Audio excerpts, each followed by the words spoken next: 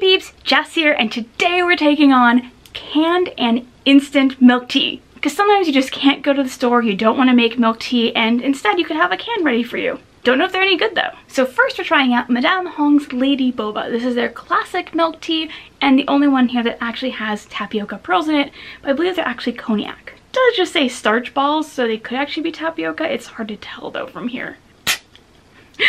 okay, that, that's some pressure right there. Could I get a single boba out of here?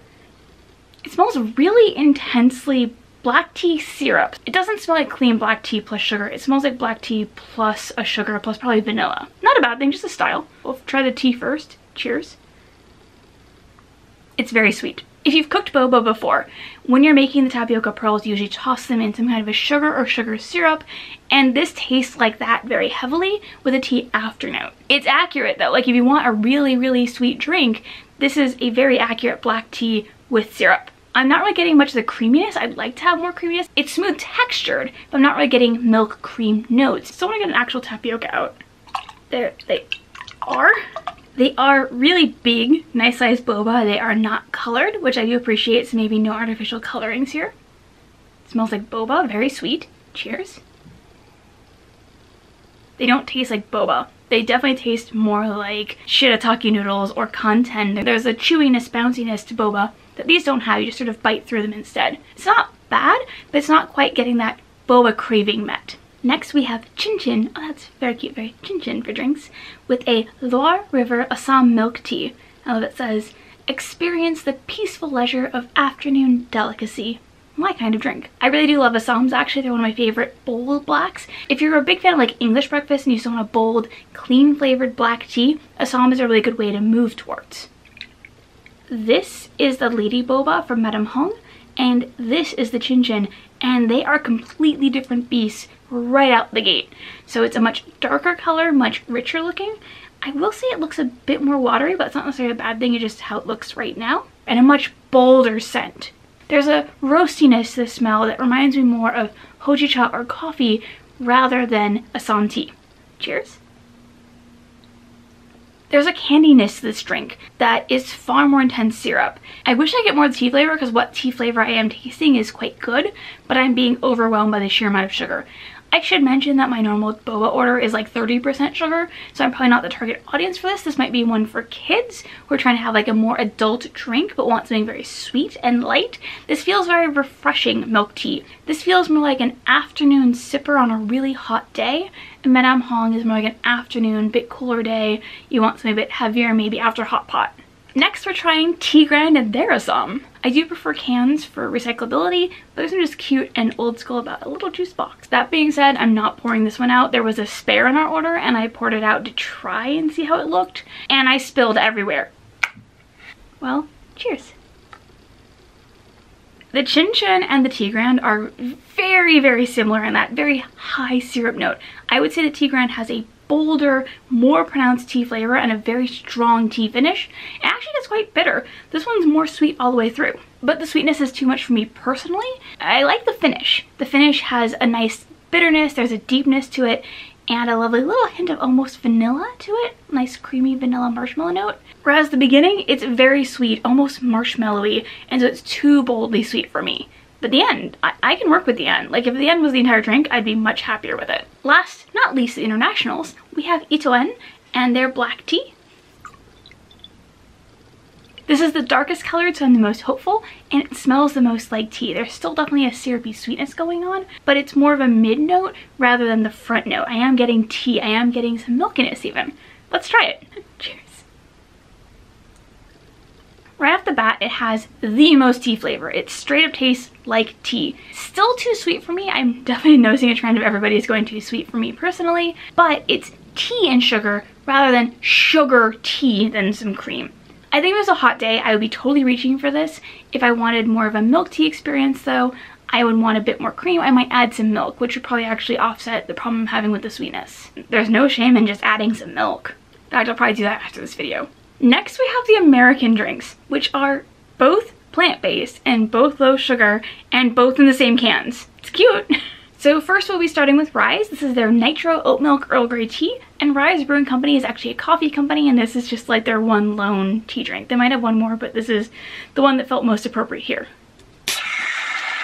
It got shaken. I will say off the bat, it just looks like a very creamy brew. But Nitro Brew, I believe, uses the injection of nitrous oxide into the brew. I could be wrong. Please don't quote me on that. What matters to you here is that Nitro Brews create incredibly creamy drinks with very little added milk, which is awesome if you're lactose intolerant or lactose sensitive. I'm just smelling Earl Grey, very little sugar, so pretty hopeful. Well, cheers. It is on the watery side, but still rather smooth and really oaty. You'd better like oat. I'm getting oat, then bergamot, then more of a tea bitterness in the background. It's not super sweet though. I am getting like a pure oat note and a pure bergamot note. I still wish it was a bit more creamy, but that might have been because it got a bit shaken coming upstairs, and so it's definitely not as creamy as I think of Nitro Brews being, but it's still creamier than the other drinks for having very little milk in it. I do find myself wanting a bit more bergamot and a bit more tea. However, as a refreshing afternoon oaty drink with some tea notes, it works just fine. I just want to be more intense. Next we have Twrl, and they're one of the newer ones in the market, and they're only doing various milk teas. They have like hojicha and a regular one, and I want to try jasmine today because jasmine sounds fun. okay. Apparently don't shake too much. Shake gently. Definitely shake gently. It smells the most like tea, but it's almost like a tea gummy. Like there's a sweetness to it, but not a sugar syrup sweetness. It smells really good though. Cheers.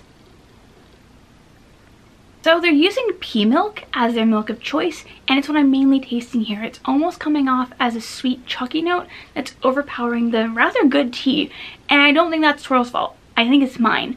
I've actually had this can for a bit. I was drinking the other teas for them and they did not taste nearly as pea protein forward. I wish I could taste this fresher because the tea flavor underneath the pea milk is really bold and strong and clear. It's got a lovely depth to it. I'm not getting as much of a jasmine floralness, but I am getting the pu'er that's under there as this lovely, bold, sharp, astringent tea with just a bit of sweetness. I don't judge based on one drink personally. I would still order more of these, all of them actually, to see what I think, because sometimes one bad batch happens, maybe it was stored improperly, stuff happens. I'm looking forward to trying more of Twrl. Last, not least, we have the instant teas. And first we're going with Meito. This is their royal milk tea. And while it's not the most eco-friendly, I do like that they have these little to-go pouches for them for when you really, really need to have tea with you at all times. And you can make it hot or cold. That's pretty nice. I decided to make it hot because actually we drink milk tea hot in the house a lot and I just wanted to have some hot milk tea this time.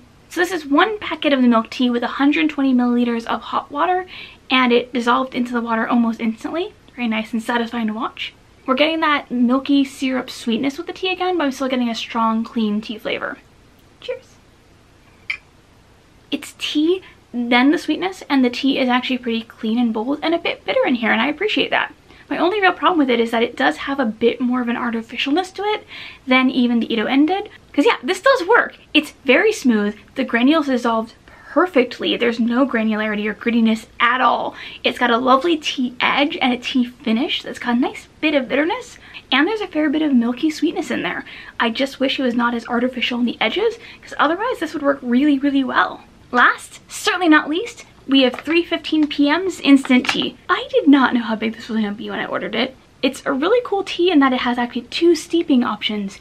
You can do three minutes for a sweet and milky tea or five minutes for more intense tea. You know which one I picked. What was neat was that the tea had two granules inside itself, like creamer, sugar, and then tea itself. And as the tea steeped, it looked really just like water. And as soon as I finished stirring at the end, it looked like milk tea. I feel like we're back to the beginning of the video on smell. It smells like bubble tea, boba syrup, and tea. Cheers. This is dang bold tea. The tea is not messing around. It is sharp, it is bitter, it is a clean tea note. But the syrup and the milkiness are separate, so I'm getting tea and milk rather than milk tea. It is way sweeter than I was expecting. It's one that I'd probably add to milk because there's still a really nice tea note in there and it's very refreshingly light. It's like an airy, breezy hot milk tea. Picking a favorite today, it's gonna be the Twrl. I know that I harped on the pea milk a lot, but it had the cleanest, most beautiful tea note, a lovely astringent finish, just a little hint of tannin, and the nice right amount of sweetness for me personally. Honestly, I'm probably gonna do a whole nother video with a fresh batch because I'm that curious about what's going on with Twrl. I think they got so much potential. I just need to get over myself with pea milk. After that for me would be Ito En and Meito. They had the most potential as a refreshing milk tea drink and they kind of like drinking a tea gummy and I'm really in for that personally. It's a bit sweet, but it's fun. And I'd probably grab the Meito just to try more with mixed drinks. I think there's a lot of potential for hot cocoa actually in there, and I really want to try that coming up. So those are my thoughts on some canned and instant milk teas. I hope you get to try them out if you have or have ones you wish I'd included instead. I would love to hear all about those in the comments, and with that, I will catch you next time. Later!